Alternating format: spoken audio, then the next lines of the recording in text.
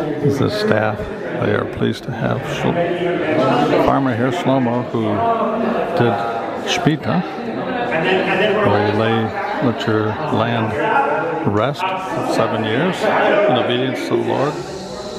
Rabbi the guys. They're taking a group shot. That is Hadassah. She just started today. She's the social media staff member now.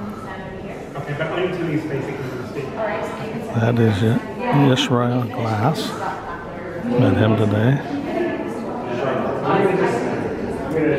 Most of these are Americans who made Aliyah. They all speak very good English, as Tuly does.